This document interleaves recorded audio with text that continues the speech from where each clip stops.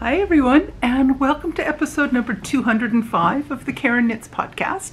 My name is Karen, and I'm coming to you from South Central Pennsylvania, where I live, where I work, where I knit, and get into all kinds of other crafting shenanigans. I am so happy to have you here with me today. It is Saturday, March the 30th, 2024, and tomorrow is Easter Sunday. Happy Easter, everyone. So, if you're a new viewer, thank you so much for popping by to see what I have to natter about. If you're a returning viewer, thank you so much for coming back for another week to see what I'm nattering about. I'm so happy to have everyone here with me. I had mentioned in my last podcast that I'm really working towards hoping to get my channel up to and breaking the 1000 subscriber mark. I'm getting closer, but if you are here and you're watching and you haven't subscribed yet, and you come back, especially if you come back week after week, please hit the subscribe button. Um, it really will help my little itty bitty little channel. It'll make Olive real happy too. It'll put a smile on her little face. but if you have not yet subscribed, it would be wonderful if you would subscribe to my channel. It and like the videos, comment. I love reading your comments and it all helps my little channel.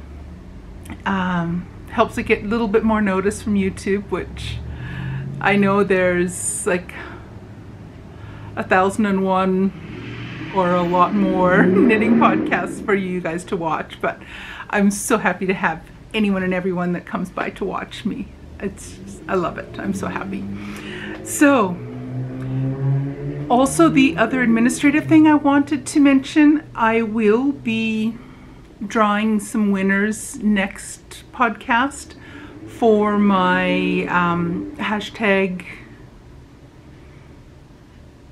What on earth did I call it? Box of Socks Make Along 2024. Box of Socks MAL 2024. I will be drawing the first quarterly prizes for that next week um, next Saturday. So I will do a cut line at the end of the day on on Sunday, and I'll start any any finished objects that come in after the 1st of April or 1st of April and onwards, I will enter those into the drawings for the second quarter. So, and there's a pile of socks in there. Oh, there's some gorgeous socks. You guys are doing a fantastic job with all the socks you're knitting. I haven't added any of my own in there because it's just simpler not to have to figure out how to take my entries out because I'm clearly not going to be entered into my own draw. so, so this week I have two finished objects to show you and some progress on another one of my WIPs. So I'm not sure this might be a shorter episode. Don't hold your breath because I get paid to talk for a living, so I can talk and talk and talk. At least I've quit talking in my sleep. I even used to do that when I was a teenager and in my 20s. I talked in my sleep too. I have outgrown that, thankfully. So, my first finished object are my Sock Madness 18 round 2 socks. They're all done when I saw you last, I forget where I was. I think I had one complete and the other one I was somewhere on the foot. I think. I don't remember. Bad podcaster, bad podcaster. So these are the Yttygran, Itty Gran socks. They're the round two socks for Sock Madness 18. And this is a pattern by, I'm sorry, I'm just looking at my notes over beside me here. This is a pattern by Anna Zhuravleva. And they're so pretty. I am a fan. I enjoy doing twisted stitches. I know a lot of people don't really like them for all sorts of reasons. I find these actually do not bother my hands at all. So these were done using 2.25 millimeter needles. The yarn is yarn I dyed myself and I like them. I made the size medium. There's a 64 stitch uh, pattern. I always knit my Sock Madness socks to the minimum specifications because typically they don't fit me properly so I just I knit them for the joy of knitting them, the joy of learning new techniques, the joy of challenging myself and they go into a gift gift collection or they sit in the drawer and look pretty. I am planning on getting all of these onto um, I plan on sorting through all of my socks and getting the ones that don't fit properly sorted out so that I can give them away. The second finished objects, I'm going to switch them and put them on my metal sock blockers. Uh, if you'll just give me two seconds, because as we know, I typically can't I try to talk and do this at the same time and it sometimes works. it doesn't always work. There's times when I'm trying to do two things at once like this and I stop talking because I'm concentrating on what else I'm doing. But anyway, so these are my second finished object for the week. And these, when I last showed you,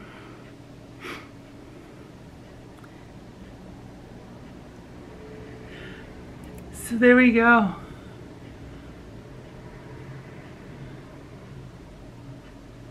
These are my toe up two at a time sort of shorty socks and they are done using, I'm using the leftover yarn I had from my Chickadee Fiber Arts advent calendar from 2023. From just from this last year. I've made two pair of two pair of socks with the leftovers. The first pair I used um, the leftover yarn from days 1 through 12 and the second pair I used the leftover yarn from day 13 through 24. I do the toes, heels, and in this case the cuff in bare yarn and all the rest of it was done using the leftover yarns from my advent calendar from last year. I'd used the initial, or I'd used the first part of the yarn was all used in my Ariana cardigan and I had a little bit left over so that's what that went to. So two finished objects this week. I'm very happy with that. Very, very happy with that. Now, Sock Madness is round two has officially finished, although we had until I think their deadline was about lunchtime on the 1st of April, Monday the 1st, and everyone's finished already. It was, all the spots were filled sometime on Friday, earlier in the day, midday Friday. So technically the next round, round three, can the specs might drop anytime now. My gut feel on this is that it won't that won't happen until after the weekend.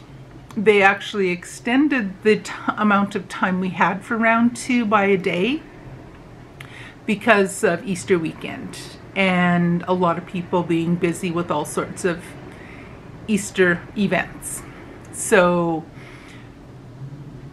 even though everyone did finish, my gut feel is that we won't move on to round three until we might see the specs on Sunday or Monday.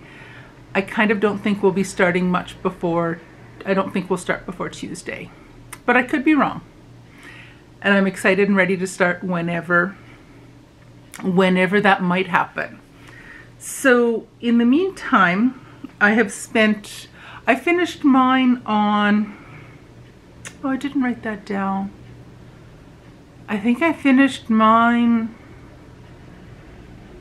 Monday or Tuesday? Might have been fin at least Monday or Tuesday. They might have even finished on Sunday. Might have been finished for Sunday or Monday I finished mine, I think. I should have marked that down, but oops. But might have been finished for several days. So I thought it's probably a good thing that I rest my hands a little bit just because there's a lot of knitting with sock madness. So I have spent a fair bit of time since I finished my round two socks. I spent a fair bit of time working on diamond art painting. So I finished off one and I've, I don't have them with me, they're over in the other room. And I've got a good start on a second one. The second one is probably almost half done. So instead of putting any strain on my hands, it was on my neck instead because I sit there with my head all scrunched down and leaning forward working on and working on that and listening to audiobooks. So I just finished listening to The Dead Key by, I think it's D.M. Pulley. It was a really good book. I really enjoyed it. And it's just, I, I really enjoyed it. So now I'm going to be on the hunt for a new audiobook to start reading or listening to. I'm also spending a fair bit of time watching. I'm still working my way through the whole Midsomer Murders series. I'm in season 12 right now, which is it's a little bittersweet because I know already that that's the last season that we're going to have um, our regular detective that will have uh, Tom Barnaby and then it's going to switch to his cousin is going to be the new um, lead detective. So I'm curious to see what I'm going to think. It's going to take me a while to get used to the new guy because I really do like the, the original guy. But so it is kind of bittersweet to know that that's the last season that I'll see him on the show but I've been thoroughly enjoying that. I I really I spent a lot of time watching Midsomer Murders episodes while working on my round two socks. And between working on my diamond art, I've also been working on my coziest memory cardigan. Uh, this is a pattern, I'm following the pattern by Kemper Ray, it's the coziest memory and I have not tucked in any tails yet. I will be doing that soon. I'll get a start on that. But since I last saw you, all the squares that have the yellow markers are the new ones. So starting with that pink one here.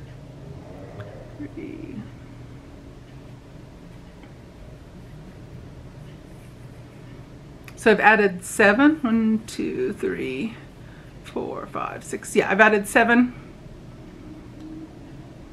new squares on here. The yarn I'm using for this uh, right now, exclusively using my row one mini yarn. I am also doing this, I'm holding the yarn double. So it is a DK, it's coming out a DK weight. So this is gonna make for a nice, squishy, wonderful squishy blanket, or not blanket. It's gonna, it's gonna wear like a blanket, but it's gonna be a cardigan once I'm done. So I'm kind of making this up as I go along. I will continue just going back and forth adding rows until I have it to the length I want in the body up to the armhole. And then I think I'll just, I'll figure out what I'm doing on the neckline. I haven't quite decided how I'm going to deal with that. But I'm going to leave an opening for the sleeves and then just continue using the squares up the front and continue going up the back. And then I will do, just do squares around for the arms. That's the plan. We'll see how it goes once I get there. And I will keep you posted as I get there. So like I said, I have not done at the ends yet. What I plan on doing, and anytime I've made any kind of project like this, is once I have all the squares done, uh, let me just figure out a way to hold this so I can try to show you. Once I have them in a point where I've got the four squares joined, then I will tuck in these tails. So once I add four more on here, I'm going to go back and tuck in all the tails between row one and row two. So we'll get all of all of these ones done up here. The ones that are up here at the on the the finished part of row two I will wait until I've added three and I'll do the same as I've done here. I will tuck in the ends. So I might start tucking in a few of them in the first part because like I say I've got eight. One two three four five yeah I've got eight already added I might go back and just add in or just tuck in these tails and this one from the very beginning. That one has to be tucked in as well. But I will be doing the tucking in the tails as I go to, to some extent just because I don't want it to become too overwhelming once I get to the end. I'm not going to leave it till the very end and then tuck in a million tails. No. I, I'm one of those weird people, I actually don't mind tucking in the tails, but I don't dislike it. I don't dislike tucking in tails, but I don't want to have to do a complete marathon session with that many to do. It's drinking ordinary plain black tea today. Actually, it's Earl Grey. It's my little butterfly cup. Then that was from Hershey Butterfly Gardens, or Hershey Gardens in the butterfly enclosure. So that's it for my knitting content. Finished two pair of socks and added seven squares onto my Coziest Memory cardigan. I have been eyeing up my Jelly Roll cardigan or the blanket that I'm, uh, that's by Kay Jones, I think is the designer of that pattern. I'm, I need to get started on adding more to that. So I think what I'm going to do is I'm going to go through all my sock yarn scraps and start pulling off 10 grams of each one. I think I, maybe I'll, what I'll do is I'll pull off 10 grams of one of them, add that and see how far that takes me on my uh, granny stripe. Not granny stripe. Did I call it a gran? No, I don't think I called it a granny stripe before, did I? I hope not. My Jelly Roll cardigan. So I think what I'll do is I'll I'll pull out a 10, 10 gram little ball of yarn, a fingering weight, and then that way I can do that held double and I'll see how, how many inches a little strip that will add on there. And then that way I'll know whether using 10 grams is going to work out well or, or what but I do need to get some work on that. I think what I want to do first is I want to get the next four squares added on to my coziest memory cardigan so I can have the second row finished, then I can tuck in all the tails. And then I want to spend some time working on the jelly roll, uh, the jelly roll cardigan and get some work done on that.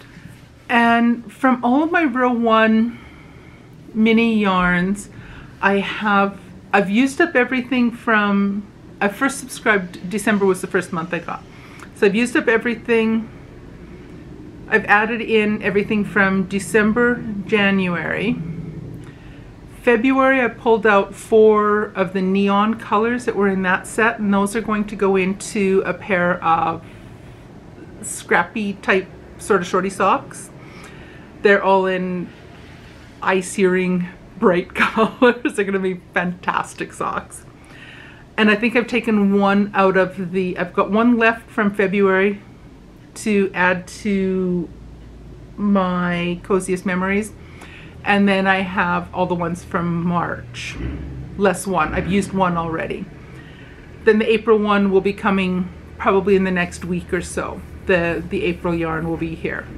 So from all of those, I used roughly seven, a little over seven grams for each of the, the little squares, the mitered squares held double.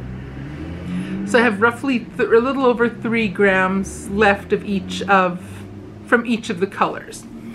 Now, I'm trying to decide what I want to do with those. I potentially might make a pair of scrappy sort of shorty socks with those. I probably will do at least one pair with those just to see how far each of the, the three grams across two socks, how far that takes me. I'm also considering making a Battenberg blanket. It's a, a crochet blanket that's been, I'm drawing a blank on the designer. I'll put a link to the pattern down in the description. But you make, using fingering weight yarn, you crochet about 476,000 little itty bitty squares. Half of them are done in one, uh, one solid color and the other half are done in a whole bunch of little all scraps. So I'm seriously thinking of making one of those. I will be doing a different joining method because I'm not, I don't like a lot of, a, a, I'm not a huge fan of having that little ridge on the back side of the blanket. Um, I think I'll probably just do a whip stitch joining. I think. I haven't decided for sure. Then that way I can kind of make a bunch of squares and add them or join them together and then do a bunch more. I've made in the past, actually one of the designs I have on Ravelry, it's the Around the World crochet quilt. That's done in worsted weight where I start with, I think they're two round, worst, two or three round worsted weight granny squares and they're just all the different colors joined up in and around the world crochet quilt design. I think if I think that I'll put a picture up here of what that looks like.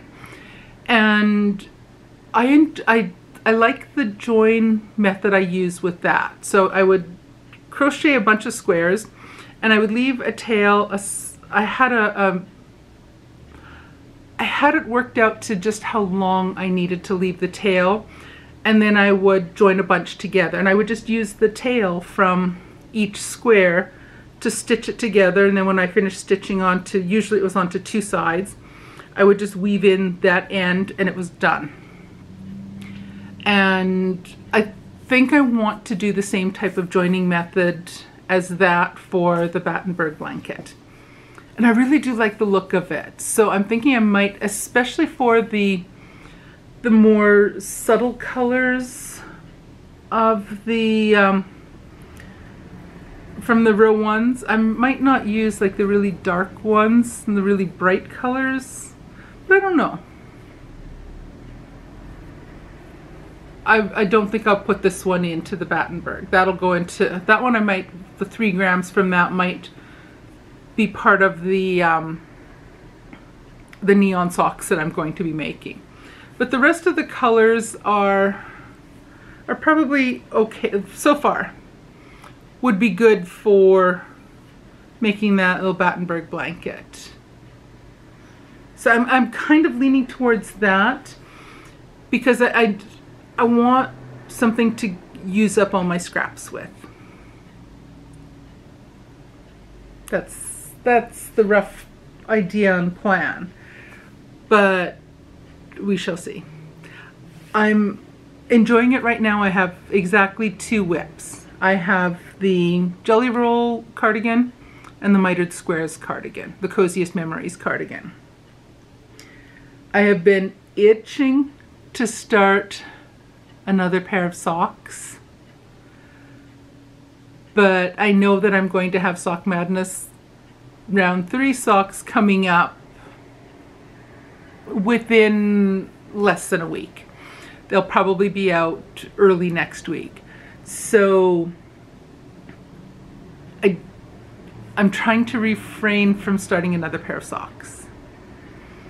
Although the neon ones are awful tempting. I'm awful tempted to get started on those. And this was the the first sock I made with my December row one mini yarns. So it'll be the same with the, the neon ones. I have four colors and yeah. They'll be good. They'll be so good in that uh, bright neon. But they'll they'll look along this this way. So I'm I am tempted to start those just so that I have mindless sock knitting, but mitered squares and the jelly roll are even more mindless because I'm just knitting back and forth and back and forth. Especially the jelly roll. There's like no you just knit, turn, knit, turn, knit, turn, just keep going. So, especially for the first row, our first strip. So I'm, I'm really rambling now. So, other life things, not much, it's been quiet. Work has been going along well. We're heading into the last month of classes next week, so the semester is starting to wind down, and at the same time, we're starting to get all, all kinds of other things starting up for or happening for the end of the semester. So we have graduation, we have awards ceremony, we have an open house for incoming students. We're having um, an advisory board meeting for our department. So there's all these different things. There's at least one extra event every week coming up. So it's it's keeping things busy work-wise. Looking forward to Easter tomorrow. We'll have the sunrise service, so I'm crossing my fingers that the weather's not too, too bad, or at least not too cold tomorrow morning. I haven't looked at the forecast, so who knows what it's going to be like. And then we have a potluck breakfast after the Easter service, like the sunrise service at church. Then we'll have Sunday school then a regular church service. So we're going to be in church from like 7 in the morning till noon. it's going to be a long morning. I pretty much can guarantee I will be having a nap on Sunday afternoon. Uh, the hubby always has a nap on Sunday afternoons. I sometimes do. But this Sunday, it's a, pretty much a guarantee because we will be getting up at 5 in the morning. And other than that, this week coming up, I have a dental cleaning on Tuesday morning that's about it for other stuff for the week. So, again, if you have not yet subscribed, please hit the subscribe button. And I will see you guys again next week. Say goodbye, Olive. Alrighty, thanks for watching, and I'll see you again in a week. Bye, everyone.